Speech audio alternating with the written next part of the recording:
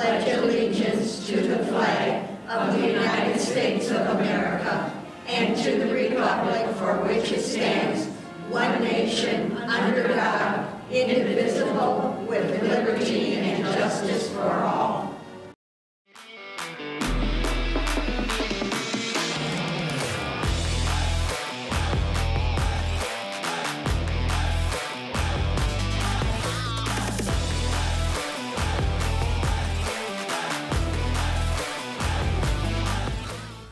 Good morning, Red Wolves. Happy Friday.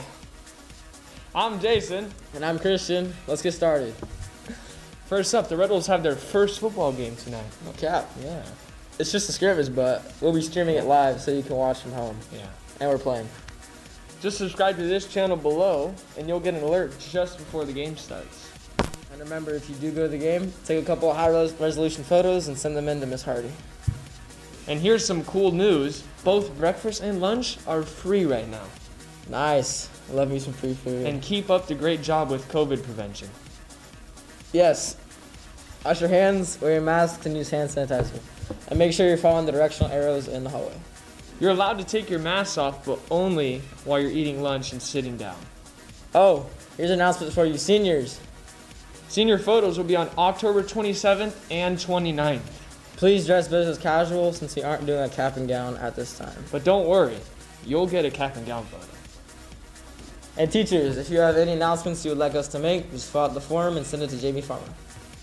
Those requests do need to be submitted the day before, or else they won't be added to the next announcements. All right, that's all we've got for you. Have a great weekend. See you later. And remember, if you do go to the game, take a couple highlights. Hi- Can we just start and go faster?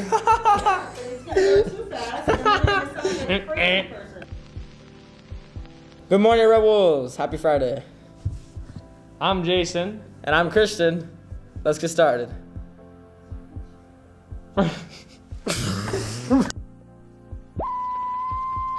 And remember, if you do go to the game, take a couple high resolution photos and send them to Miss Hardy. and here's some cool news because lunch is free right now.